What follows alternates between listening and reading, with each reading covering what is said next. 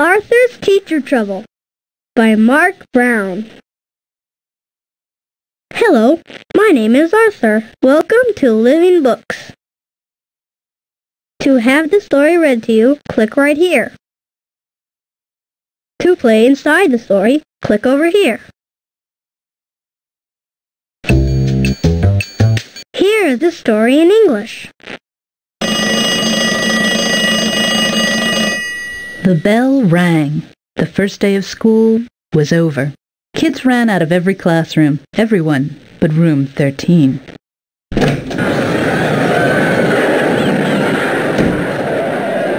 Here the students filed out slowly, in alphabetical order.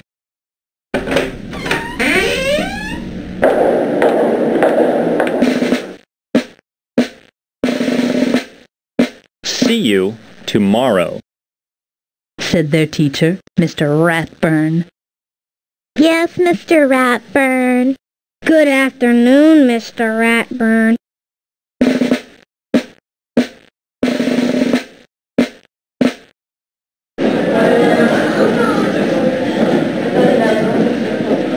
I can't believe he gave us homework the first day, said Arthur, I had the rat last year. said Prunella, Boy, do I feel sorry for you.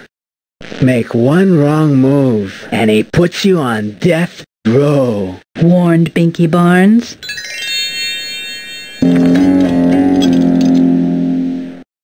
He's really a vampire with magical powers. said Chris.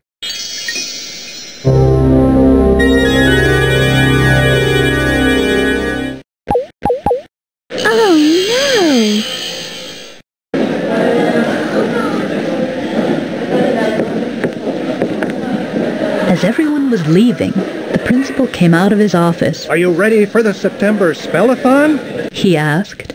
Yes! Cheered the crowd, Who's going to win this year? asked the principal. Me! Everyone shouted. If I win again this year, do I get my name on the trophy twice? asked Prunella, Not if I can help it. whispered Francine.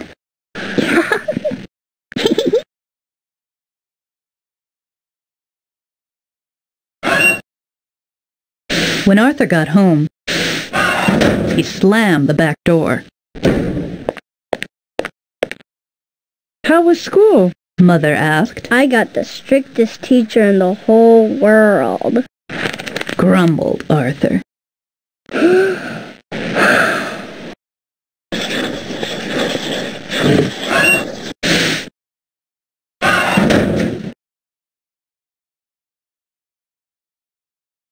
Have a chocolate chip cookie.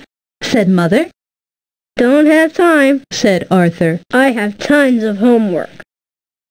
I'll eat Arthur's. said D.W., I don't have any homework. You don't even go to school. said Arthur. I know. D.W. smiled. Can I have another cookie? One at a time, DW. Oh, I guess I'll have just one. Okay.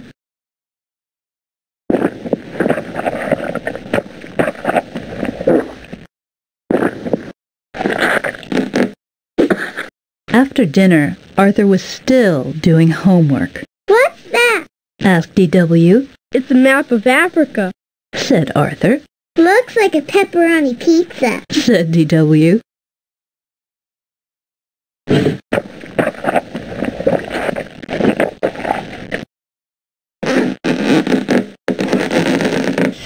Ugh.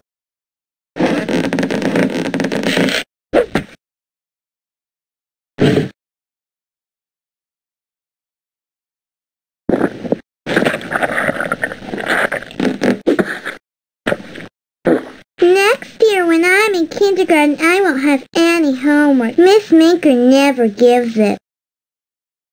Mom! called Arthur, DW's being a pest! Time for bed. said Mother, You can finish your map of Florida in the morning. Africa! said Arthur.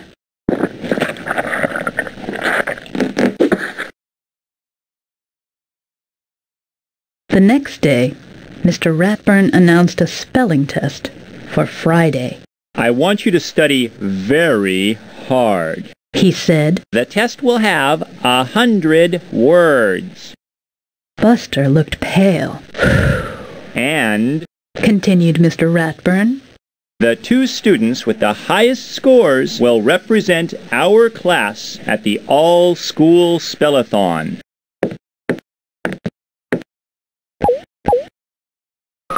Only a hundred words? Maybe my computer can help me. That week, everyone in Arthur's class studied harder than ever.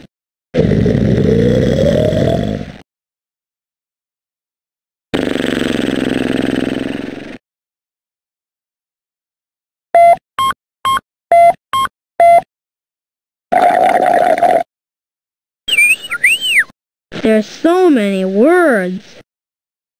Arthur spent a lot of time looking for quiet places to study.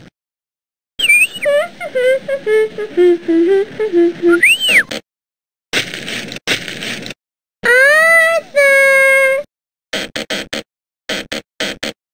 Mom wanted me to give you some more words to study. Thanks, DW.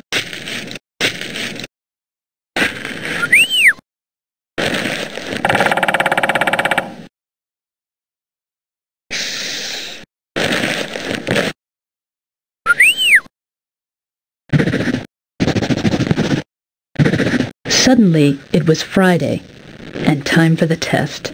Arthur could smell Miss Sweetwater's class making popcorn. He could hear Mrs. Fink's class leaving for a trip to the aquarium.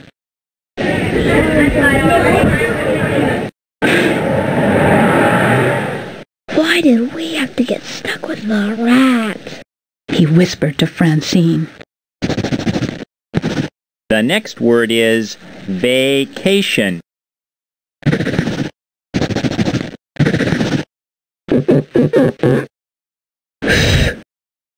This is easy.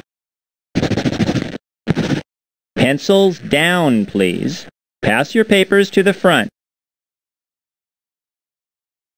Mr. Ratburn corrected their papers during lunch. Class, He said, most of you did very well on the test, but only two of you spelled every word correctly. Muffy smiled. Francine hiccuped. Buster patted his good luck charm. Mr. Ratburn cleared his throat.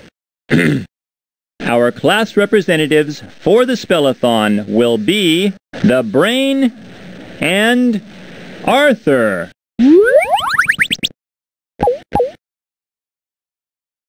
There must be some mistake. Wow, Arthur, you won! I did?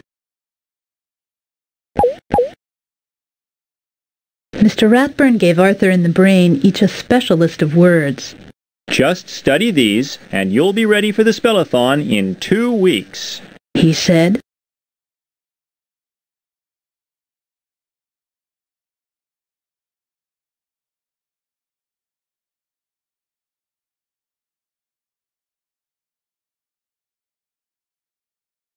Arthur's family helped him study.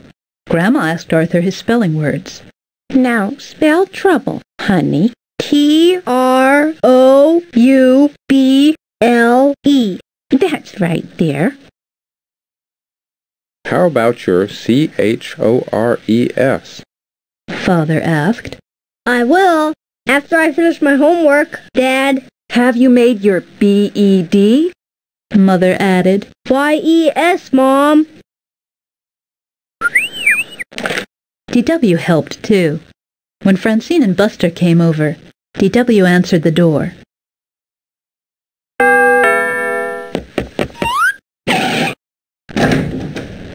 Arthur can't play, but I can. She said, I don't have to study. Gosh, he's working hard. Can I play with you? Well, well okay. okay. Have fun studying, Arthur.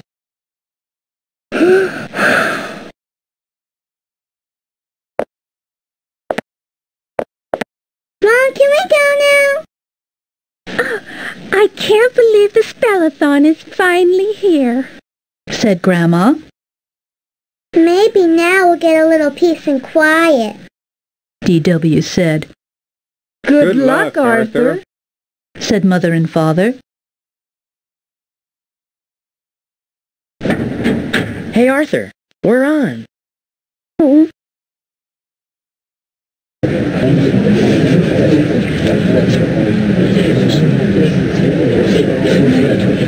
From backstage, Arthur could hear the whole school out in the auditorium.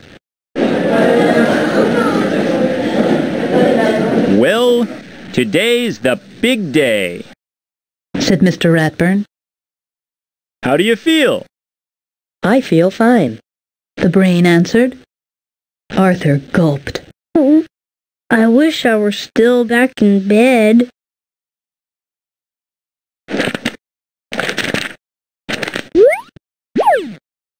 Good luck, boys.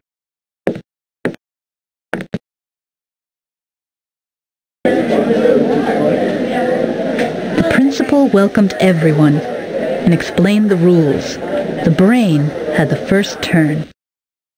He stepped up to the microphone, The first word is fear.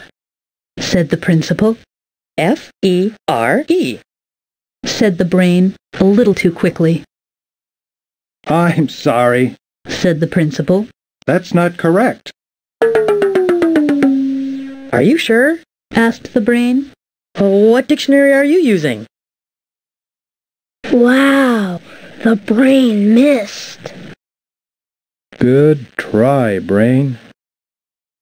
The brain wasn't the only one to drop out quickly. The representatives from Miss Sweetwater's and Mrs. Fink's class were gone in a flash. Before long, only Arthur and Prunella were left. It was Prunella's turn, The word is preparation. said the principal. Prunella looked down at her feet. Could I have the definition, please? She asked after a moment. Preparation. The principal repeated, The process of getting ready. Of course. said Prunella. P R E P She paused. E R A T I O N. I'm sorry. That's incorrect. Said the principal. Now Arthur gets a chance to spell it.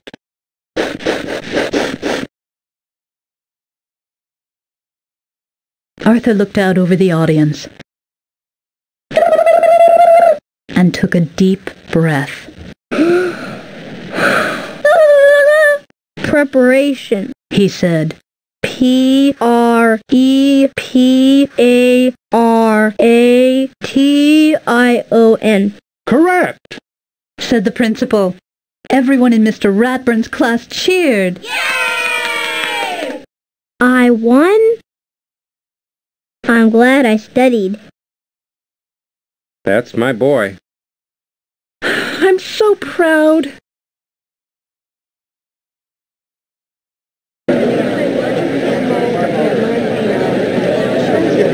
Then Mr. Ratburn went to the microphone. I'm very proud of Arthur. He said, In fact, I'm proud of my whole class. They worked very hard. Yay! Smile, please. Will you please smile for the camera lady?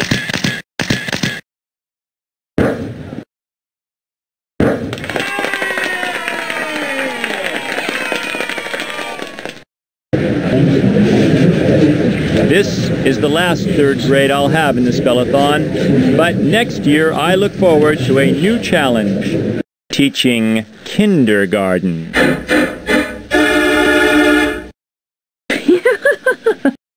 Oh no! Teaching kindergarten? Mr. Ratburn? See you next year, DW. That'll be fun, DW. For you, DW. Thank you all for coming. We'll see you at the Spellathon next year.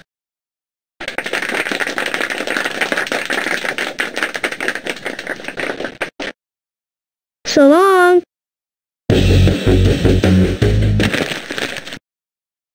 I'll see you next time. To have the story read to you, click right here.